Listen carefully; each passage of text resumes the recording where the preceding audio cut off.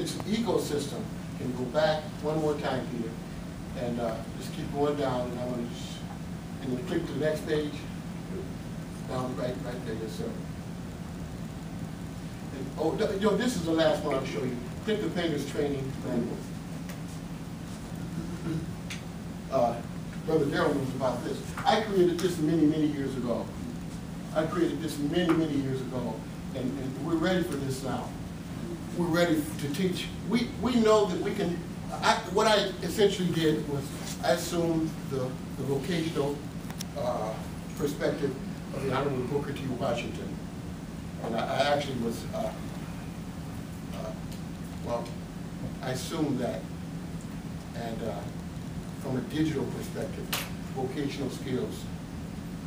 We, you see, before you paint anything, you should know what kind of brushes to use.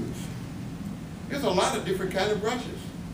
You should, you should know what, uh, uh, I, I had one guy work with me for seven years. He was the best painter you could ever want. He, he never learned the difference between oil-based and latex. Do you know how many brushes this guy messed up? you know, uh, but he was, and he said, oh man, don't worry about that. You know, he never really would stop and learn because he didn't want to look stupid. So that's where we are. Don't worry about looking stupid. Everybody's stupid now. I'm telling you, you know, and, and, and you move, you move beyond that.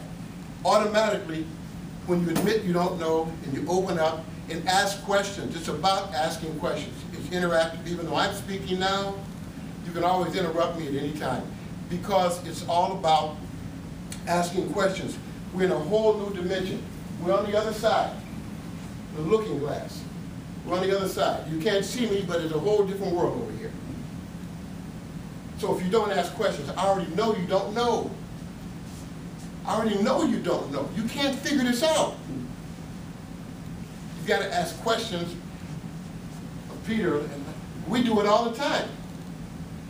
We are, we always learning off of each other. We, and, and people say, wow, these guys are, no, we're always learning off each other. Uh, Mike and, and John Porter, who was the first African-American in Chicago that I knew that uh, was actually designing websites and, and had an international team. You know, John's brilliant. Uh, but anyway, I'm gonna let go here, but uh, go down to the bottom. There's a lot more here in the ecosystem. I want your group to be a part of the ecosystem, all the way to the bottom. Right, right there. You guys get a chance to read this, because this is, this tells my story. And, and I, I, I just put this in the other night. Uh, But I, I just want to let you know that, uh, I read one, pa- one, two sentences from here. Uh, The Honorable Booker T. Washington soberly gave our race a message over a hundred years ago. He said, cast down a bucket where you are. And our race and our group never truly figured that statement out. Many gave lip service to it, but never figured it out and put it to action like we should have. We just did, I've been pushing this for many, many years, and, uh, I can't tell you how many people, uh, prominent people in our community saw it. We just, it's hard for us to get to the concept, that we gotta do this ourselves. We're always looking for, uh, what is a union gonna say? Or, or, or what, what's somebody else gonna do? We should be training our own. That's what this is about, you know? And if you're, if you're, if, if you're sober, if you clearly understand, you'll go back and you'll tell somebody in your population, community center somewhere about this.